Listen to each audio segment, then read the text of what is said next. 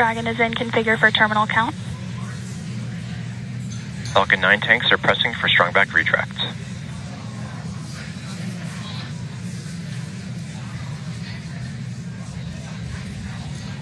Heard the call out. We're pressurizing the tanks for strong back retract. We'll hear a sequence momentarily. Strong back is retracting. Actually, that's the start of about a one minute sequence. At about T minus four minutes, the clamp arms that you can see there will open, and then Strong back is retracting. and then we will see the retract from there. So we've heard the call out. That's the start of the sequence. Doesn't mean that the clamp arms uh, are late opening. It will take us a few more seconds. As you can hear, the excitement and the crowd is really growing uh, here at SpaceX headquarters at Hawthorne, California. There you can see the clamp arms have begun to open. And next we should see the strong back uh, begin to retract.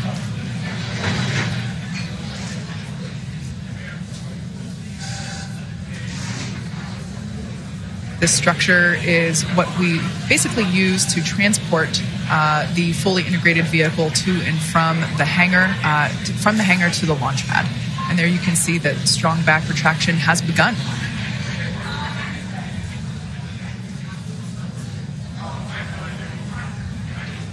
Everything continue to look nominal uh, as we're now under three and a half minutes until launch. RP1 fuel is fully loaded on first and second stage. Uh, should be wrapping up LOX load on uh, the first stage momentarily and continuing to fill on second stage. Stage 1, LOX load is complete.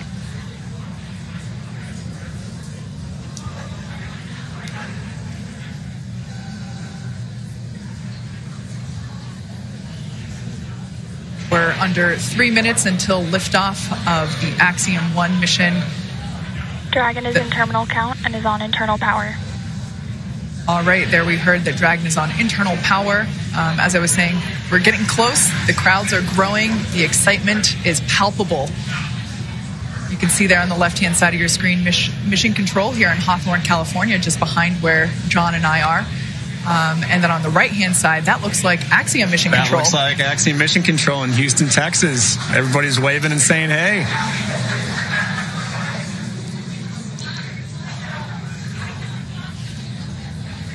All right, at this point in time, that LOX load on first stage is complete.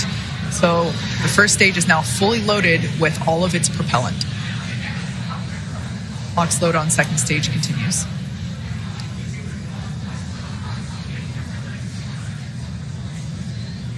As we've mentioned before, the Stage 2, LOX load is complete. All right, so there's that call. At this point in time, Falcon 9 is Dragon is in auto idle. Dragon is fully loaded with all of its propellants, nearly 1 million pounds of that propellant. Next event coming Gas up, closeout has started. Expect right now. the gas closeouts. We finished pressurizing the storage tanks on board the Falcon 9. They gave the crew the heads up. and They hear some loud venting noises. We're also going to vent down the liquid oxygen line that carried the LOX up to the second stage. Generates a typical large white cloud of condensation around the strong back. Big event coming up now, T minus one minute. All the flight computers take over. Let's listen in to the last minute of terminal count. FTS is armed. Falcon 9 is in startup and now controlling. Dragon is in countdown.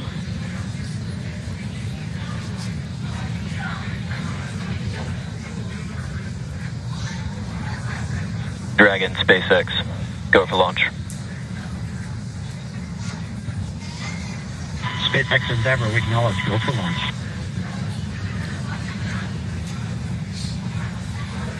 T minus 30 seconds.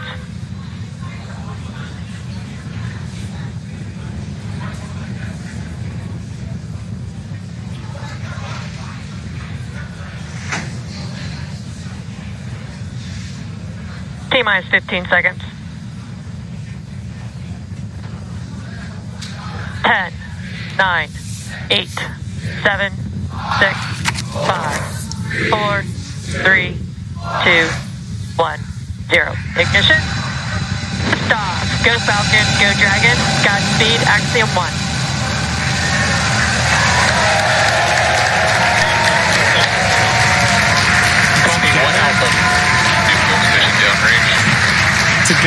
New chapter begins.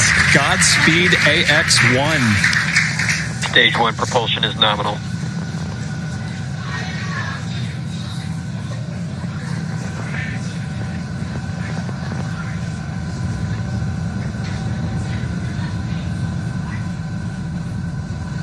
T plus 38 seconds into this historic mission, flying crew on board Dragon and Falcon 9. Range telemetry nominal.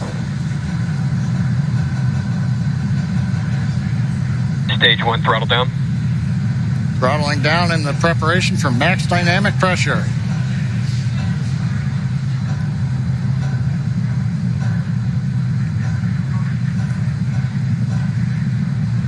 Falcon 9 is supersonic.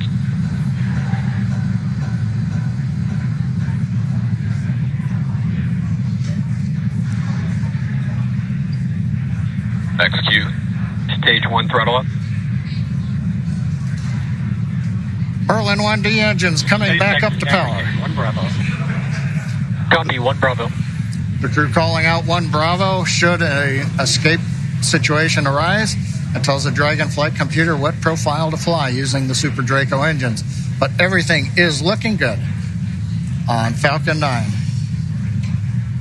We're getting nominal callouts from all the engineers and a great view from the ground camera and the onboard cameras. MVAC chill underway.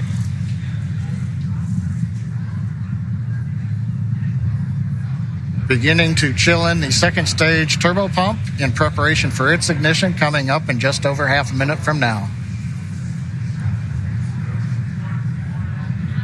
Coming up on about three and a half G's acceleration for the crew. We'll begin throttling down the Merlin engines to hold that period, that level of acceleration.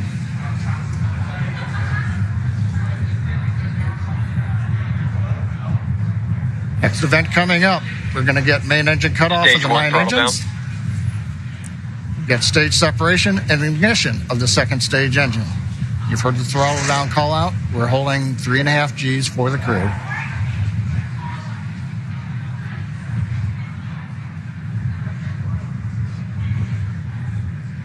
And MECO.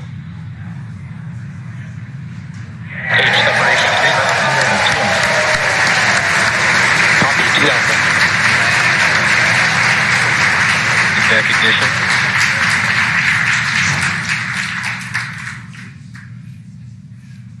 Successful stage separation ignition of the second stage engine. On the left, the titanium grid fins beginning to slowly deploy. Great views from the first stage camera. The first stage now begins a slow flip maneuver. You can see the white uh, nitrogen gas plumes as we reorient for an entry back through the Earth's atmosphere a little bit later in the plus count. Second stage, we see the engine nozzle glowing red. Everything continuing to look good on the second stage.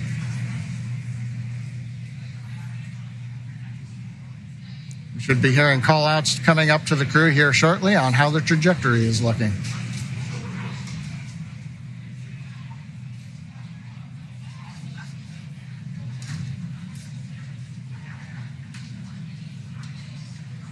Dragon SpaceX trajectory nominal.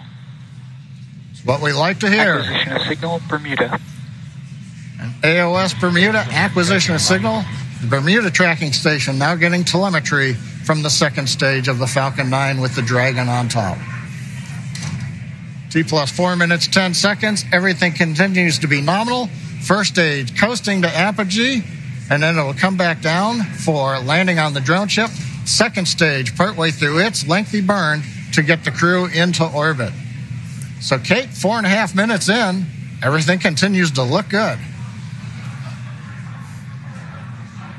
What a absolutely picture perfect liftoff.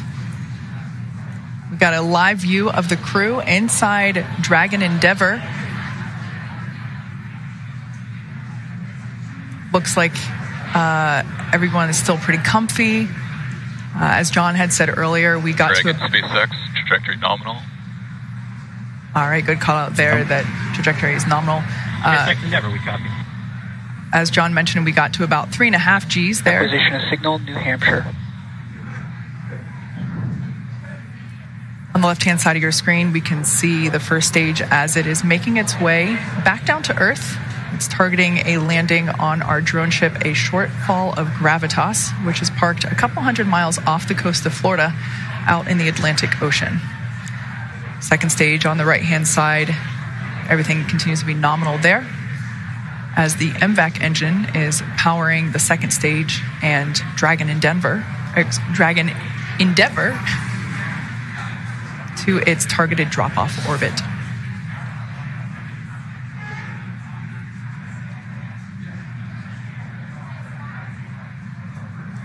Absolutely beautiful views of both the first and second Dragon stages. SpaceX, trajectory nominal.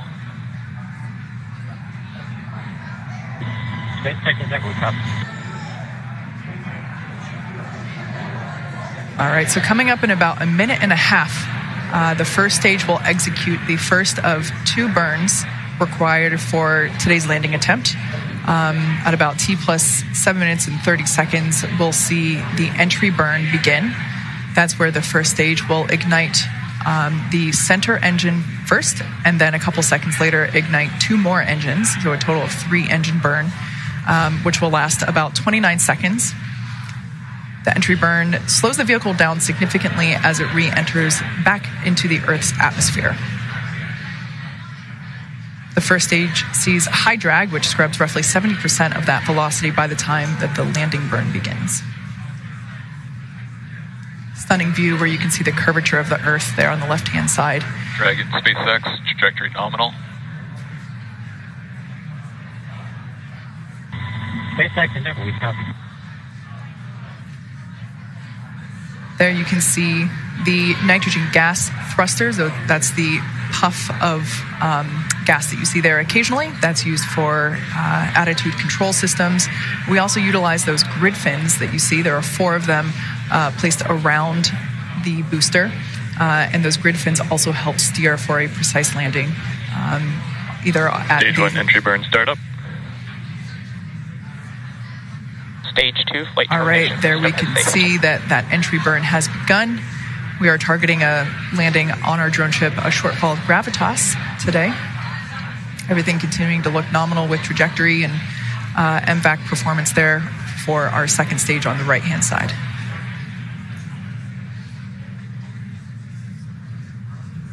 So we are conducting the entry burn. Previously, the booster was Stage one entry burn shutdown. That entry burn helps slow the booster down. It was going about 25 times the speed of sound. So we slow it down as it re enters the dense part of the Earth's atmosphere.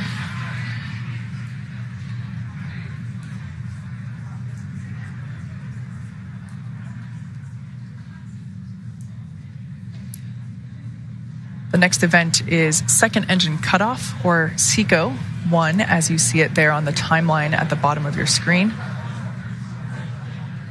Stage two terminal guidance.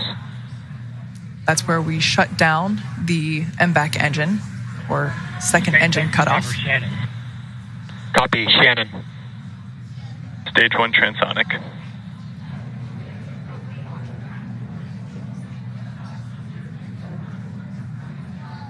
Note that our landing burn and second engine cutoff uh, will occur about the same time. shutdown.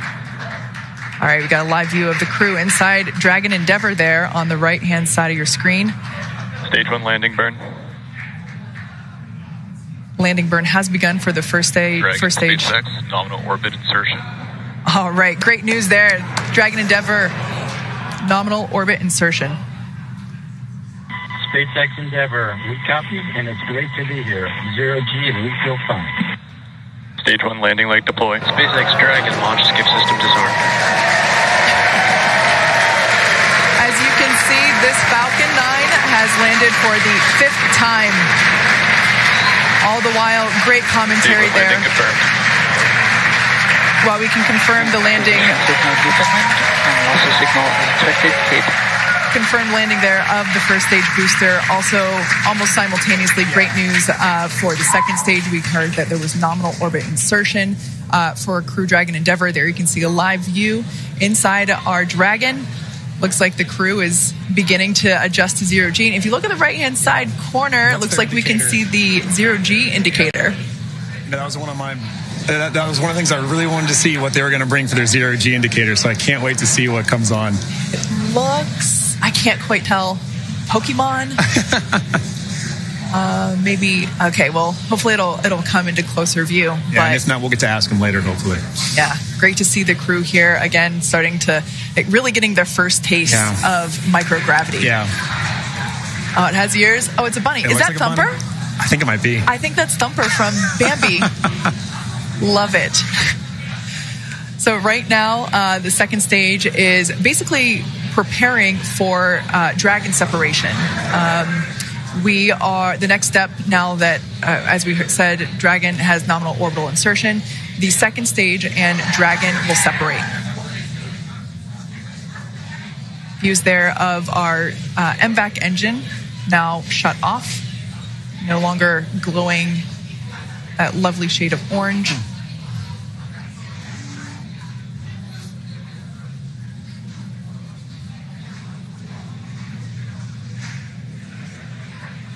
Right now, the second stage is about 200 kilometers above Earth.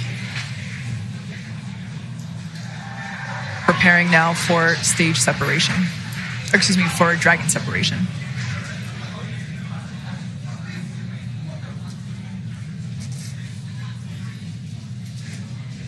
For those of you that have just recently joined us, we had an on time liftoff of the Axiom 1 crew. They are now in space and uh, coming up to separation from second stage, at which point um, they will then begin to make their journey, continue their journey uh, to the International Space Station.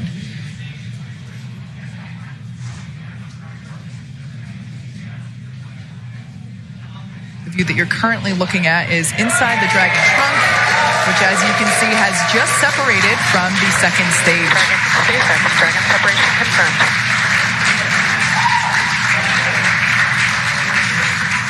behalf of the Falcon 9 team, Thanks, welcome to Good to space. here. Thanks for flying Falcon 9.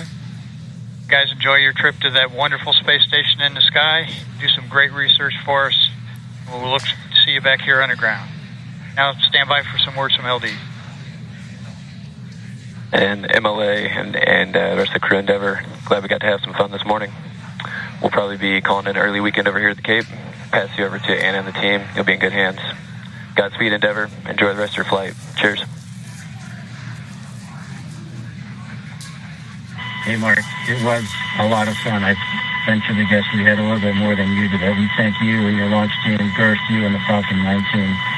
That was a hell of a ride, and we're looking forward to the next 10 days.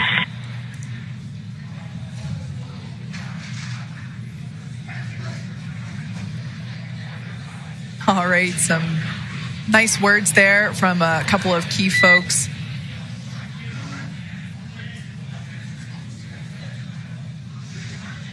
Our first Quindar tone of the yeah, mission. yeah. I queued up right when I heard that. There we and can expected, expected loss of signal, Bermuda and New Hampshire. there we can see uh, Dragon Endeavour on its way to the International Space Station. It has separated. There's a view Dragon inside. SpaceX, we had nominal dehumidifier activation and service section Draco checkouts.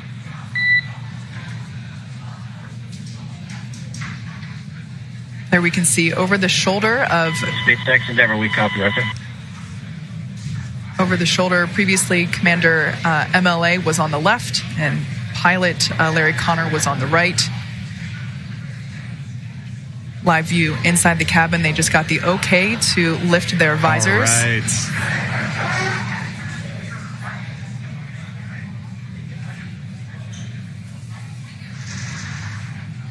All right. So we can see that everyone is in space. Yeah. We can see that zero G indicator floating around. Great view there um, of Dragon Endeavour now in space with the Axiom 1 crew on their way to the International Space Station. Yeah, I mean, this is a day of firsts. You know, this is my first time getting to participate in a launch like this. This is a first for Axiom. I mean, this is a first for spaceflight. And it's just wonderful to see such a picture, picture perfect launch. It really We was. saw, we saw the landing and we saw uh, orbital or uh, uh, zero G insertion at the same time. I mean, that was perfect. Yeah. It was wonderful to see. All right. Well, as I just said, today's launch is one for the history books. So to punctuate this milestone that NASA and commercial companies are able to achieve together, we go now to Kennedy Space Center where Megan Cruz is with NASA's Kathy Lueders. I am. I'm here right now with the Associate Administrator of NASA's Space Operations Mission Director. It's so great to have you here, Kathy. Mm-hmm. What did you think of the launch? Oh my gosh, it's, it's always like you know, right in the bottom of my throat. I'm yes. holding, can't breathe, can't breathe. Yes, but what a beautiful, beautiful sight. Yeah, so good to see it. I, I want to tell everybody working Artemis One wet dress, we're off the range. We're off the range for Axiom One, and we can get moving. But um, you always want to hear the engine cut off. You always yes. want to hear that second stage engines lighting. You always want to hear, you know, each of these stages, and we need to just keep carefully working through the different steps to get the, that crew there to the International Space Station safely. Yeah. What does Axiom 1 represent? Axiom 1 and also future private astronaut missions to the International Space Station. Hey, you know, NASA's original goal was to enable commercial industry. That was actually in our original Space Act agreement. And so here we are, you know, 60 years later, enabling that through our missions. And so I just feel like this is a culmination of 60 years of work for yes. us. And here we are once again getting to see, and for the first time, the first time getting to have commercial you know, private astronauts going to the International Space Station, and they'll get to see what our government the what they're calling professional astronauts yeah. doing their real work, and but then also getting to do their work too. And it's uh, it's another place where learning to peacefully work in space I think is moving us forward. Yeah, so important. And you know, we just watched Axiom 1 lift off from that launch pad right there behind us. In a couple of weeks, we're going to see Crew 4 launch from that same launch pad. And then yeah. just right next to it, Pad 39B, we have NASA's brand new space launch system. Can you recall a busier time we've had here at the Space Coast? and how is Kennedy Space Center managing its new role as this multi user spaceport? So I think somebody else, this is, I mean, Bob Cabana had this dream of a multi-user spaceport here. So I think he should be very, very proud of his KSC team and Janet Petro and her team are obviously leading the way right now because this is not easy to do. It's no, not it's easy not. to go make sure all these people have all the capabilities and are obviously working with our Air Force uh, sister agency there too and making sure that all these launches get supported in a seamless way. Just an amazing job. Yeah, a lot of juggling that has to happen. Yep. So, you know, I just talked about SLS. We are looking forward to the moon with that launch mm-hmm. later this year. You know, why is it still so important to maintain a presence in low Earth orbit when we're looking towards the moon now? Because we still don't have everything figured out how to do things yet for the moon and Mars. And really, the cheapest place for us to see a differential gravity environment and for the long term is still LEO. Yeah. And so we've got to continue to do these long duration flights, keep doing our medical protocols, keep doing our physical protocols, keep testing out our equipment through those long duration missions. It's the only place where we can do that right now. Yeah. And so we still need to be able to have this kind of a test bed for us to be checking out and proving our protocols, our research, our technology before you go put somebody in a rocket that's going to go to Mars, right? Yeah. So, just like always, we prepare, we get ourselves ready. And a low Earth orbit destination is a perfect place to do that. And again, how does us fostering commercialization efforts in space, how does that free us up to pursue these other dreams that we have as an agency? So, you know, the administrator today in, in the um, pre mission conference, he said, you know, we right now are doing this is our first step. We're working with a, a commercial company to have them come to our International Space Station. And we're learning to work together and figuring out how to work together. And this is going to be an important step for us because moving forward, we would actually like to now be able to buy a ride and time on orbit yeah. with a commercial company to be able to have them do that. And so this is the first step of their learning from us and us learning from them. And then in the future, you know, we're going to have space station for another eight years, but we would like by the early 2030s for us to be flipping the roles yeah. and have our professional astronauts going up and, and checking and doing and focusing on the research and technology we need for exploration but allowing commercial providers to be doing the hard work of maintaining the laboratory. Kathy, what an exciting future. I'm looking forward to seeing it, and thank you again for being here. Thank you. All right, back to you, Dan. All right. Hey, thanks, Megan. It is great to see the AX1 mission on orbit. The team here uh, with the space station are ready. We're ready to get them on board. So their journey just started. They've got about 20 and a half hours until they're docked to the space station. Again, they're headed for the Zenith port on Node 2. That's the space facing one on the very top. Uh, with that docking scheduled right now for 11:45 GMT on Saturday. Uh, that is just about 6:45 a.m. here in Houston, uh, 4:45 a.m. for the teams out on the West Coast. Uh, once they get there, we'll be able to get into all of the hatch open operations, welcome them on board.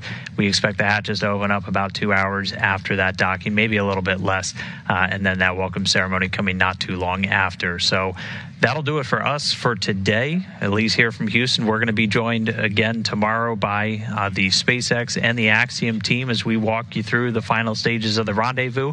And that coverage is going to be starting at 4:30 a.m. Central, 2:30 a.m. So an early morning, my friends over there on the West Coast. So.